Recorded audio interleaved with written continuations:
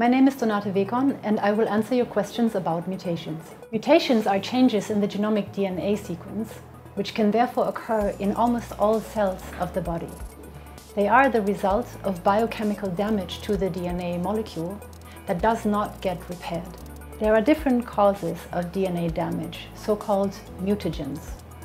Examples of mutagens are ultraviolet irradiation and chemicals in tobacco smoke. Other mutagens arise naturally from biochemical processes taking place within our cells, like for example errors made during DNA replication. Damage and repair occur randomly across the DNA, depending on the mutational processes that are active in the cell. Some mutation types occur more often than others, and their intensity may also vary along the genome. For example, in cancer tumors, genes that are turned on have on average lower mutation rates than genes that are silenced. However, still all mutations are random. For many mutational processes, we know the biochemical modifications of the DNA that lead to the mutations. However, where exactly in the genome such a modification will take place is a stochastic event and we can therefore only describe it in terms of its probability. In other words, we can estimate how likely it is that a given site in the genome will mutate, but we cannot say it for sure.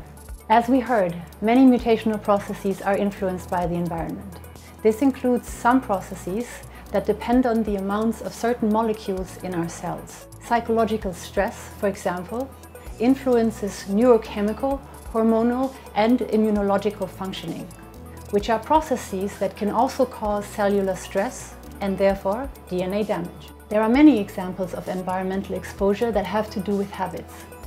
In addition to the mutagens we already mentioned, like UV light and tobacco smoke, it was recently found that there may exist a mutational process associated with the consumption of red meat, which may be one of the factors driving colorectal cancer.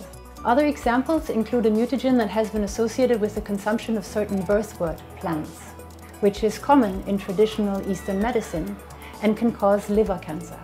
Generally speaking, mutations are rare events. For example, a newborn will have around 100 mutations that neither mom nor dad had in their genomes.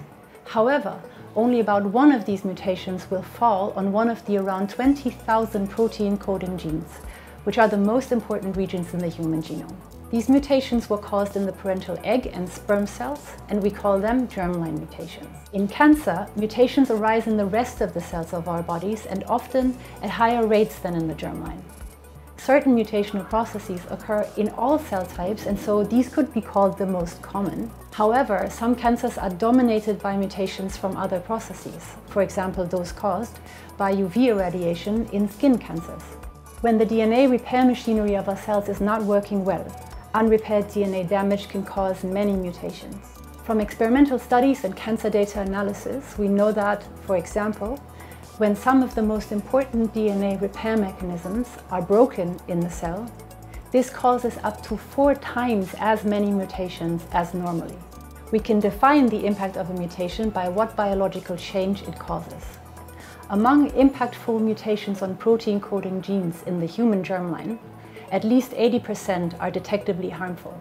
These mutations can cause diseases or otherwise reduce the fitness of the person who carries the mutation.